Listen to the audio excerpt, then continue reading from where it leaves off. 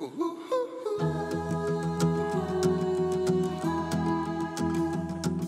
father once told me when I was young that a man and beast once roamed along the expanse of beauty reflecting perfection. The earth was good and all was well, and he said, Son,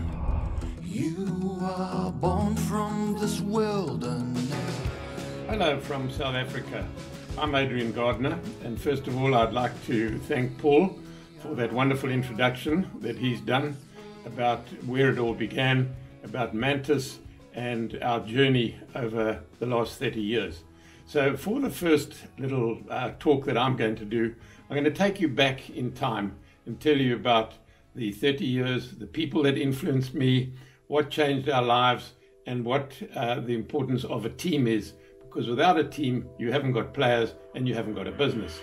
So I was quite influenced by Steve Jobs when I looked at the Apple story, and he kept on saying to his people, Why are we different? And the same thing applies to Mantis. Why are we different? And I take you back 30 odd years when I was decided that it was time to put something back into the environment. And I was brought up in a country called Zimbabwe, Rhodesia at the time. My father was very involved in cattle ranching and we were exposed to wildlife. When I came to the Eastern Cape in South Africa in 1969, I was in the construction, crane hire, swimming pool business, and then into horse racing. Enchanted Garden with 100 to go, and the filly's going to hold off the more fancy stable companion. Enchanted Garden by three parts of it. Then I decided after selling our horses that it was time for me to find my own patch of Africa. And I think most of us Africans really dream of finding your patch of Africa. I went back to Zimbabwe, I went over the traditional areas in South Africa, and I soon realized that if I didn't find something close to me, close to Port Elizabeth, I wouldn't be able to give it the time, the dedication that it needed. So our journey really revolved around taking drought ravaged, degraded, and abused farmland and putting back what's there full of all sorts of species of fantastic wildlife. And most importantly, Africa's big five were very prominent in the area. And those big five, as we all know, are the lion, the leopard, the elephant, the rhino, the buffalo, and they were all here in great numbers. And when I put these farms together and I researched what was there, I decided that it was time to put back what was the traditional parts of Africa into this area. That was a journey that could never have happened if it hadn't been for the people that I met, that I was influenced by, and who we're going to talk to over the journey of 30 years. And some of these people, regrettably, are no longer today. And I talk about Dr. Ian Player, Sir Laurens van der Post, John Aspinall, and many others who had a great, great influence on my life. And then I take you into the future and I take you into today's world and I just see the number of people that are now really interested in taking the environment, taking what we've abused over many years, and trying to put back what we think should have been done over these years. And I think the example of Mantis is probably what you guys listening to the story are going to enjoy. So, we talked about the big five in the terms of the animal world, and we're going to talk about our big five. Our big five is based around hospitality, development. First of all, we develop something, then we got to run it. So we have a hospitality division.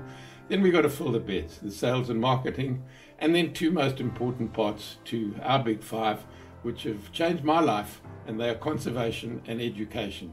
So we're going to take each of those parts of the big five, and we're going to tell you about the journey. We go to St. Helena, we go to the Antarctic, going to the most remote parts of the world we go into uh, beaches in the Middle East, we go all over the world and tell you about why Mantis was chosen to explore these areas. Then we go into hospitality and we tell you why we run each of our businesses differently and why there's just no plan because when you arrive in Antarctic, you're not arriving at a city hotel like we have in London. And then we go to sales and marketing and all the various different channels that we use, and we're going to be interviewing people about the stories we tell and all the background of it, and you're going to find that, I think, inspiring and very different to what you normally see or hear when you're talking about sales and marketing. Then, when we talk about uh, conservation, I mean, this is the important part of my life. When I talk about, you're going to hear people like Ian Player and what he did and how he changed my life, John Aspinall, Virginia McKenna, and many other people are in, in the conservation world. And as I alluded to it, we're also going to talk about the current people that are involved, the sportsmen that are involved. Then we're going to talk to you about education. And in education, we're going to talk about uh, our worldwide experience where we started a program of gap year students, which I think you're going to find incredibly exciting about kids who come out to properties all over the world where they do a conservation experience. Then I'm going to talk to you about the university, which was founded by um, Mantis, myself, and a couple of other friends, and the only university in the world where you can do a semester in wildlife conservation and lodge management. So that journey is a journey which we're going to take you on over the next uh, few weeks, and we'll interview all these people. And I think you're going to find that Mantis is not just a simple hotel chain. It's very different. It's the only hotel group in the world on all seven continents. It's probably the most diverse group. And then we're going to talk to our partners, the Accor Group, who joined us in 2018 on this journey. So it's a journey that I think you're going to find intriguing, interesting, and very different to all other hospitality groups that you've been associated with or seen over the world. Enjoy the journey with us, which will take us over quite a few interviews and some very exciting adventures and just how it all began.